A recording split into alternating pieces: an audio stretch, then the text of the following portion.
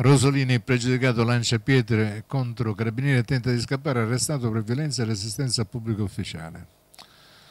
La notte di martedì Rosolini, i carabinieri della compagnia di Noto hanno arrestato un marocchino di 26 anni per violenza e resistenza a pubblico ufficiale. L'uomo, bracciante agricolo, gravato da precedente di polizia per rapina, furto, ricettazione e resistenza, aveva tentato di darsi alla fuga durante un controllo dei carabinieri intervenuto a seguito della segnalazione di alcuni cittadini che lo avevano notato mentre si aggirava nel centro abitato tra le auto in sosta con delle pietre in mano. Raggiunto, ha cercato di opporre resistenza lanciando le pietre che aveva con sé contro i carabinieri ma è stato bloccato e tratto in arresto.